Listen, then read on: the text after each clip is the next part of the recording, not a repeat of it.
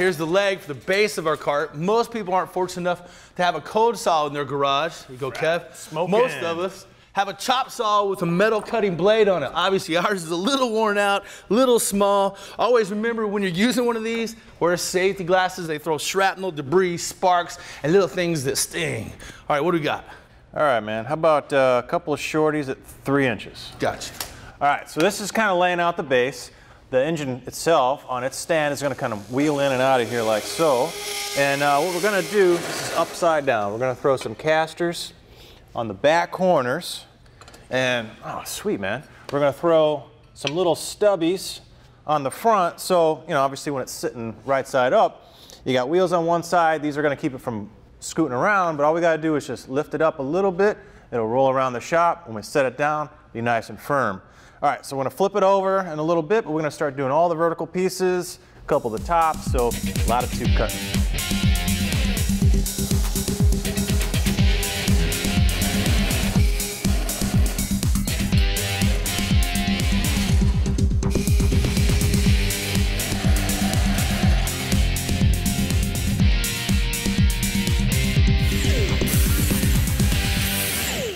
All right, cleaning up all the burrs on the tubing.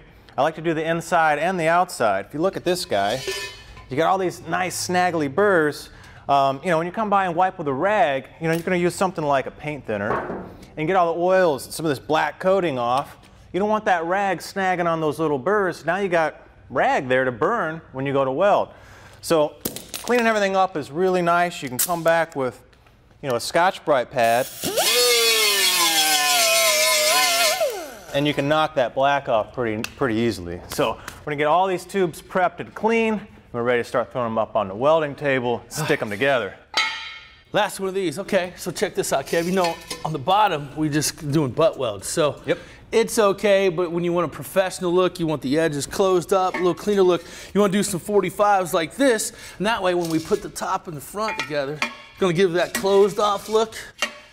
A little cleaner fit, finish, and whatnot. And then we're gonna go to the shells, which I gotta tell you, I saw something in the back. I think you're gonna love it. All right? Yeah, what do you got? Uh, It's a surprise. I'll go get them for you, but they're gonna make awesome shells. Hey, welcome back. Now we've got our uprights fixtured here. I've got this side clamped down. I got my square in here, got everything in 90. I'm ready to start MIG welding. Let me walk you through a little bit if you've never seen one before. Now MIG welder's great. In here I've got a big spool of wire. And once I pull this trigger, wire comes out. That's great. I've got two dials here typically. One is how fast that wire comes out. The other is how much heat, how much current is going through there. So between the two, I can really dial in, you know, my weld characteristics based on thickness of the material, you know, how deep a penetration I want. So there's a lot of adjustability with just those two knobs. Now there's usually a chart on the inside there, and if you, uh, you know, maybe somewhere on the outside too. So we got a chart in here, it'll get you kind of started based on the thickness. But the best thing to do, get yourself a piece of scrap, about the same thickness as what you're gonna be welding on, start playing around. So let's start, let's start cold. Let's throw a little bead on there. All right, you can, help, you can tell just by the sound, that's no good. Look at that guy just sitting on there. So we're gonna turn the heat up a little bit more. Still not so good, but if I can hold it up for the camera there, you can kind of see how it's starting to, you know, penetrate a little bit, but it's still pretty proud. I'm gonna go ahead and crank this guy up. And it's a little bit better. You can hear it, it sounds more like frying bacon, it's a little more consistent. We'll go ahead and crank this guy all the way to the last bit, and we'll get started. Now, I've got this thing, like I said, 90 degrees, it's ready to go. But if I just start welding on it, anywhere where you're putting a lot of heat, you've got, you know, molten metal. When it cools, it's gonna start to shrink. Doesn't matter where you put it, you're gonna shrink as it cools down. So if I throw a big weld in here, this is just gonna close in on me. Well, I don't want that. I wanna clamp it nice, I wanna fixture it nice. Um, anything to kind of hold it in place, but it's still gonna wanna spring once I pull it out of the fixture. So one thing you can do, let me find sort of a neutral surface. Maybe I'll throw a tack up here. Maybe I'll throw a tack on the back. Start locking it down so everything is kind of holding good. Throw some tacks on the corners, on the insides. Leave this guy alone. Then maybe I'll come over here, set this side up, tack it real nice so everything's kind of held, but I haven't thrown a ton of heat at it. I can do that with all my assemblies. Get them all kind of tacked together, then I can slowly build it all together, tack it all. Now I can start running little stringer beads, but I want to space them out so no area gets really too hot at one point. So it all kind of moves a little bit, moves a little bit, moves a little bit, moves a little bit. But in the end, it's all kind of settled, kind of right where I want it. So let me get some tacks on this guy and uh, keep on moving.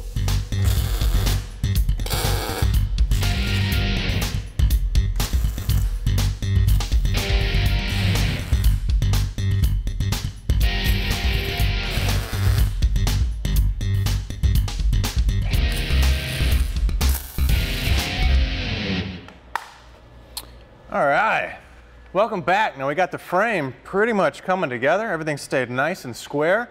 So this is the gist of, you know, everything we're gonna start hanging onto this guy. We got some wheels and little feet to kind of throw on the bottom, but I think she's ready to start adding accessories. All right. Speaking of accessories, here's what I got. bro. Uh-oh, what do you got? All right. So I saw these back there in the back, right?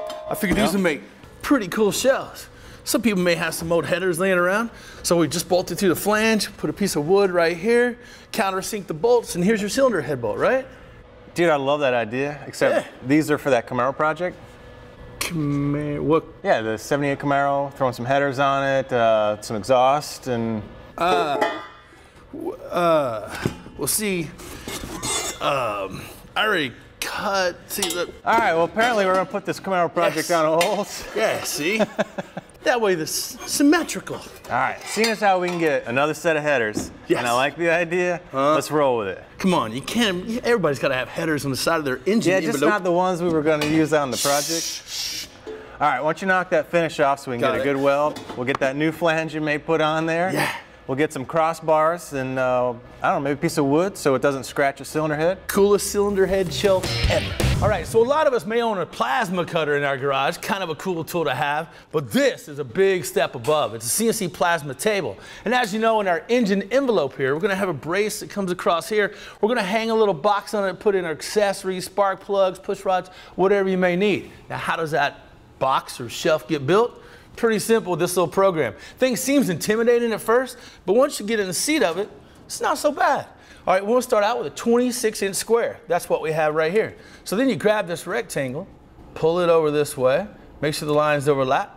Grab this square here, line her up there, and this square over here on the right, line it up there. And you want to highlight the entire thing like this. And basically, you run up here and you hit weld. What that does, it takes out all the lines, and that's your program. So what's gonna happen here is when it cuts this out, we're gonna take the brake and bend this. That's gonna actually fold over the brace right here. And then this is gonna become the back wall of our box. It folds in like this. This is our front wall of the box, so it folds up like this. And these are our two ends, closing it up. And that's how easy it is to draw one, and this is the actual one we're gonna build. So when you go to build it, it's really simple. Go up here, hit play, give me an okay, and there it goes.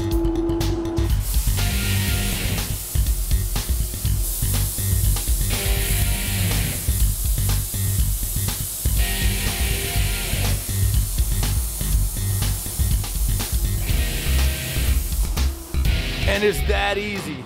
Here it is, hot off the press. Put it in a brake, do a few bends, weld it up, and this is gonna become our engine envelope box. Pretty cool. All right, welcome back to Guys Garage. Kev working on our engine envelope. Here's what I got. I found some metal stock in the back and some all threads. So what I did basically just get a couple holes, center it up, and I took it and put it at an angle, tack the back of it, so we have rod and piston holders. So see when you get that on the uh, shelf, it's just a slight angle so you won't knock off the rods and pistons. right, man. Show we it put goes. it right on the outside of the box like this, and I'll find some fuel line in the back, cover up these threads so it won't hurt the bearings. Now we got a place for all the rods and pistons on Nice soft surface to hang the rod, whether it's the big end, the piston hanging down, or the small end. Perfect place Nice. to put those pieces. Now we got a few more goodies. So Yes. this is the other side header. Right. Willie cut this down nice, so it's about the same sort of width as the, the other side. Got a flange cut out here. We've already got our mounting holes. That'll get welded on there like that. Then this whole assembly Right. we can bolt onto a crossbar anywhere we want. Lay a nice piece of wood here that's soft so it won't scratch the cylinder head. surface. So nice place to hang all of our cylinder heads. Coolest cylinder head shelf ever. So why don't we go start MIGging that. You start the uh, the box. All right, I'm gonna handle the TIG part over here. This is our bend. Got the ends sort of pretty close to where we can start to tack weld those and weld them up. Now what we're gonna do is set this aside. It's gonna hang right in here somewhere. A little one by one, this will hook in. When we're ready to carry it off, carry it off, go load it up. But let's start with some basics. Show you a little bit about aluminum TIG welding, so let me get this thing set up.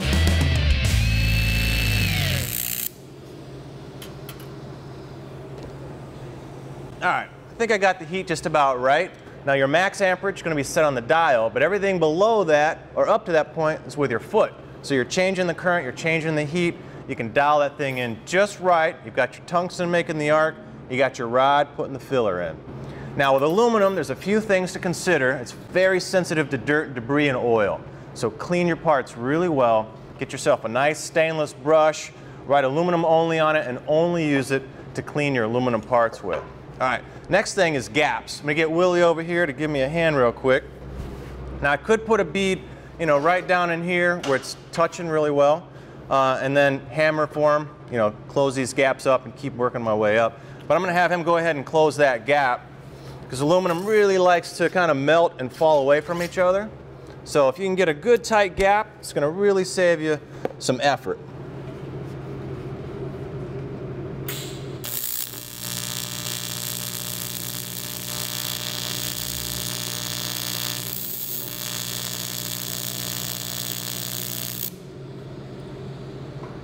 All right. Okay, just got a little blob on there to hold the part together. And what I can do is go around, tack the whole thing, then run some stringers. Now, a good tip, if I started here and welded this direction, by the time I got to here, I'm gonna be so saturated with heat, it's just gonna blow away and fall apart.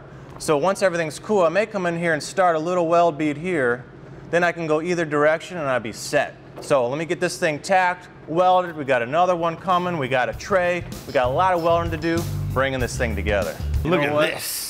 Uh, this is payoff time, man. We've been working on this thing all day. Yeah. Check it out. Everything you need for an engine build right here. Right, man. Up here, you can throw your intake, your fuel rails, your valve covers, big bin up here. Then we have our shelf for our cylinder heads, and back here, a bin for any kind of accessory we want, from spark plugs to push rods and whatever. That's right, man. Check this out. This will lift up, take it away. We recess the screw so nothing to scratch the cylinder uh-huh. head. Uh-huh. That's right. All nice rubber surfaces so you can hang your pistons and rods. Nice. Good job, and we can customize this thing any way we want in the future. Add a tray for spark plugs, push rods, And- you name it. Cup holder. Cup, maybe two. Yes. All right.